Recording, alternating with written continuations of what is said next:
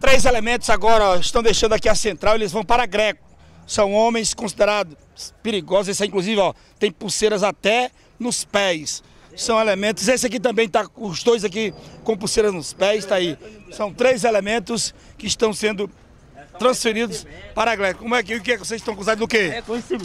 Vocês estão acusados do quê? De nada, né? Só Nada, não fizeram nada. Deus me livre. Ah, estavam rezando os três. Então aí, os três são responsáveis por assaltos na capital do estado do Piauí.